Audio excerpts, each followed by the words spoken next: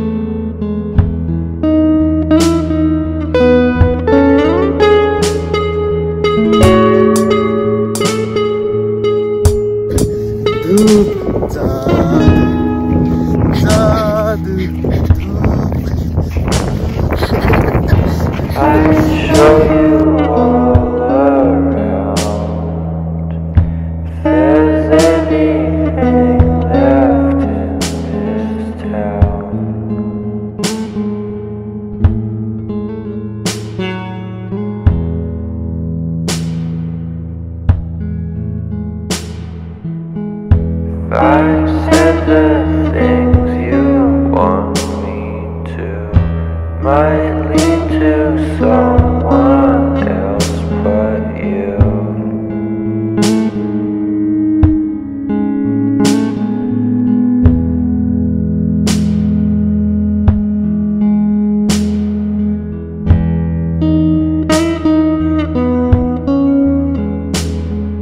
Go.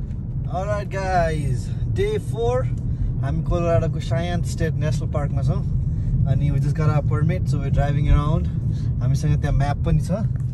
त्यसैले अब map हेर्दै वर्दै हामी अब यसो पार्कको वरिपरि घुम्छौँ। अनि I show you how beautiful it is beautiful mountains माथि है। अनि त्यसपछि you can see the whole town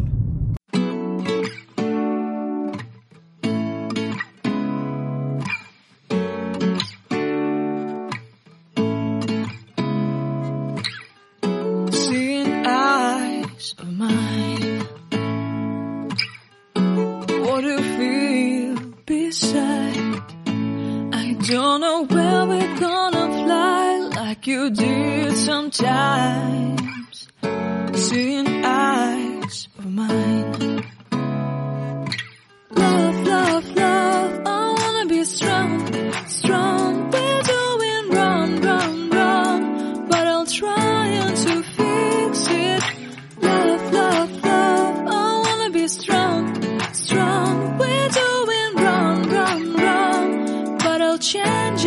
Just